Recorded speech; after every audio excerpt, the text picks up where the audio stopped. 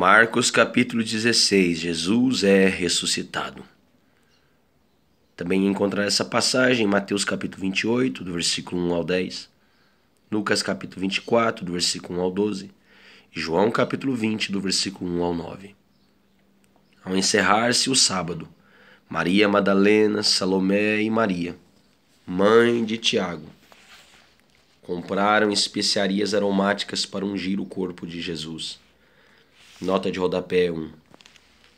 Os judeus não tinham costume de embalsamar, como aparece em algumas versões, o corpo de seus mortos, logo após as 18 horas ao encerrar o Shabat, período do sábado judaico. As mulheres foram comprar especiarias para ungir o corpo de Jesus, como mais um ato de devoção, amor e luto.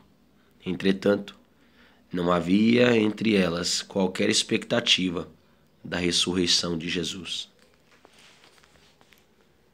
Ao raiar do primeiro dia da semana, elas caminharam até o sepulcro e questionavam umas às outras: Quem poderá remover para nós a grande pedra que fecha a entrada do sepulcro? Nota de rodapé 2.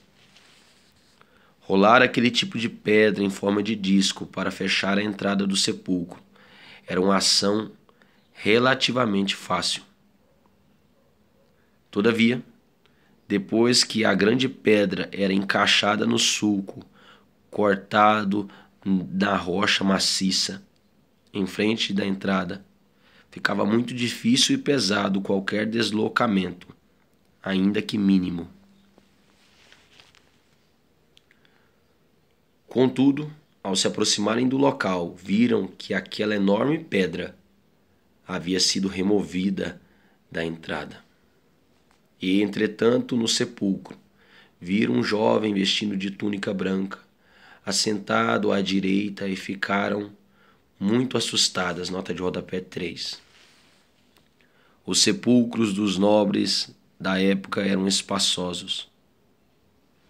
Dentro da grande entrada, na frente do sepulcro, havia uma antecâmara e, no fundo desta, uma abertura baixa retangular que conduzia à câmara da sepultura. Mateus nos informa que um anjo, com a aparência de um jovem humano, estava postado junto ao túmulo vazio. Mateus capítulo 28, do versículo 2 ao 5.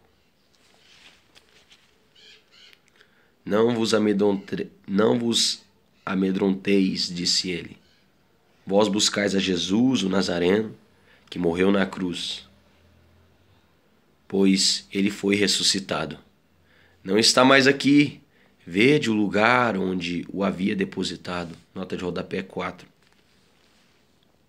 Nos originais grego, o verbo está na voz passiva, foi ressuscitado, uma ênfase ao poder soberano de Deus Pai. Atos capítulo 3, versículo 15, Romanos capítulo 4, versículo 24. Ponto alto da teologia de Marcos é a ressurreição de Jesus sem a qual todo o trabalho e morte de Jesus teria sido inúteis à salvação de todos que nele creem. Por causa da ressurreição, Jesus é declarado Filho de Deus. Romanos capítulo 1, versículo 4. Agora ide, dizei aos discípulos dele e a Pedro, que ele está seguindo adiante de vós para Galiléia. Lá vós o vereis, assim como ele vos predisse. Nota de rodapé 5. Como já havia revelado, Jesus rumou para Galiléia, com o propósito de manifestar-se o mais breve possível a muitos dos seus discípulos. Marcos 14, 28, Mateus 28, versículo 9, versículo 16, 1 Coríntios capítulo 15, versículo 6. Jesus sabia que, apesar dos erros, Pedro o amava com sinceridade e, por isso, estava desanimado e necessitado de uma cura interior que somente o Senhor, com seu amor e perdão, poderia realizar. João capítulo 21, do versículo 15 ao versículo 19. Apavoradas e trêmulas, as mulheres saíram e fugiram do sepulcro e não informaram nada a ninguém, pois estavam assombradas e com medo. Jesus aparece primeiro a Madalena. Também encontrar essa passagem em João capítulo 20, do versículo 11 ao 18. Quando Jesus ressuscitou ao alvorecer. Do primeiro dia da semana apareceu primeiramente a Maria Madalena, de quem havia expulsado sete demônios. Nota de rodapé 6. Jesus apareceu em primeiro lugar a Maria Madalena, que, juntamente com outras discípulas, foi demonstrar sua devoção e consagrá-lo a Deus, conforme os rituais fúnebres judaicos, logo ao romper da manhã do domingo. João capítulo 20, do versículo 11 ao versículo 18. Depois Jesus ap apareceu às demais mulheres que o seguiam, Mateus capítulo 28, do versículo 8 ao 10. E em seguida a Pedro, Lucas capítulo 24, versículo 34, 1 Coríntios capítulo 15, versículo 5. Aos dois discípulos no caminho de Emaús, Lucas capítulo 24, do versículo 13 ao 32. Aos discípulos reunidos, mas sem Tomé, Lucas capítulo 24, do versículo 36 ao 43. João capítulo 20, do versículo 19 ao versículo 25. No domingo seguinte, com a presença de Tomé, João capítulo 20, do versículo 26 ao versículo 31. E a sete discípulos no mar da Galileia, João capítulo 21. Aos apóstolos e a mais quinhentos seguidores. Mateus capítulo 28, do versículo 16 ao 20.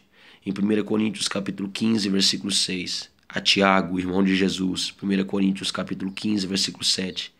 E antes da ascensão nos, aos céus, a um grupo de seguidores e discípulos Lucas capítulo 24, do versículo 44 ao 53. Atos capítulo 1, do versículo 3 ao versículo 12. Então, ela foi e comunicou aos que com ele tinham estado.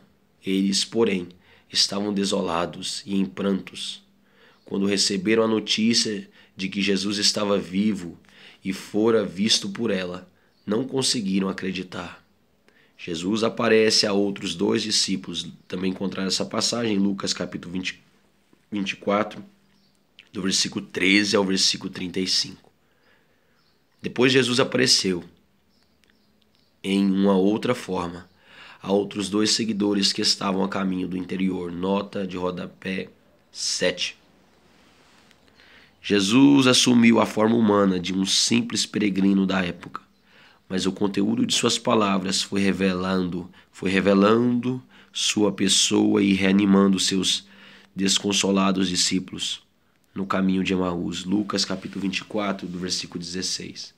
Também a Maria Madalena, sua discípula, surgiu como um humilde jardineiro, mas ao falar, revelou-se o Cristo amado e poderoso. João capítulo 20, do versículo 11 ao versículo 18.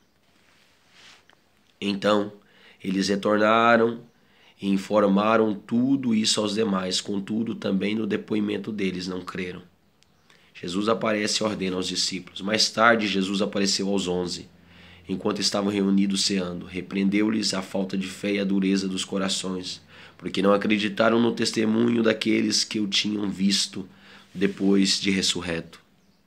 Ele lhes ordenou: enquanto estiverdes indo pelo mundo inteiro, proclamai o Evangelho a toda criatura.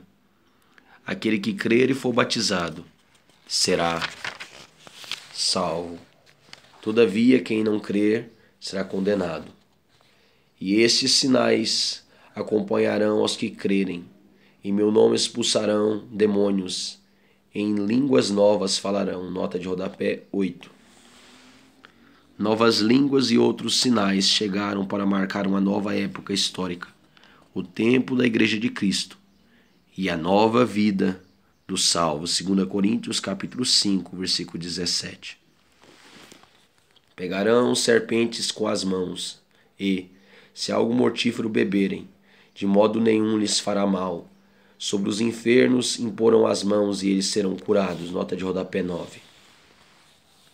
Jesus volta na forma do Espírito Santo para habitar com poder no corpo dos seus discípulos e apóstolos, e realiza muitas maravilhas por meio deles ao estabelecer sua igreja em muitas partes do mundo, até os confins da terra. Atos capítulo 1, versículo 8. Atos capítulo 2, versículo 42 ao versículo 43 e Atos capítulo 28, do versículo 3 ao versículo 6. Jesus sobe à direita do Pai. Também encontrar essa passagem em Lucas capítulo 24, do versículo 50 ao 53, em Atos capítulo 1, do versículo 6 ao versículo 11. Concluindo depois de lhes ter orientado, o Senhor Jesus foi levado aos céus e assentou-se à direita de Deus. Nota de rodapé 10. Como afirmou Calvino, assentar-se à direita do Pai não se refere à posição do corpo físico de Jesus em algum lugar específico do céu, mas sim à sua posição de majestade e poder como imperador do universo ao lado de Deus Pai. Em conformidade com o Salmo 110, versículo 1, e a palavra profética de Jesus Cristo em Marcos capítulo 14, versículo 62.